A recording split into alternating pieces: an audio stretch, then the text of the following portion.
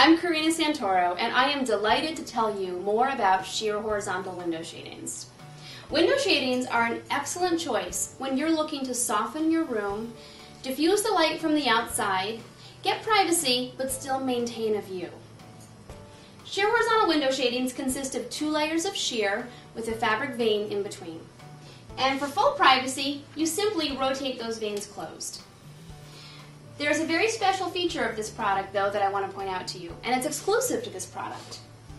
When the vanes are in the open position, you can raise the shade, still maintain that view to the outside, and you won't damage the shade. This is a perfect solution when you want to put a plant on your windowsill, or you have a couch in front of the window, or maybe you just want to open the window and let the breeze blow through.